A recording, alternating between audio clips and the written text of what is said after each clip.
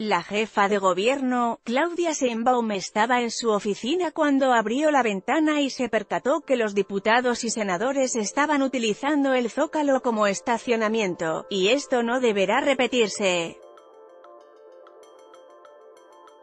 Aclaró que la plancha del Zócalo no es estacionamiento, y aunque por el momento dijo desconocer si se habían aplicado o no multas la Secretaría de Seguridad Pública sí hizo su trabajo.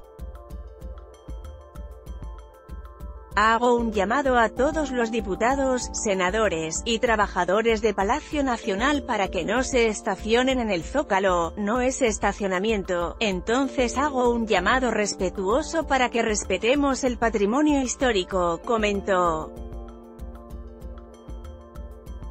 Nadie está por encima de la ley como lo ha dicho el presidente de la República, Andrés Manuel López Obrador, aseguró. Diputados y senadores de Morena asistieron el miércoles por la noche a una reunión que sostuvieron con AMLO y dejaron los autos en doble fila.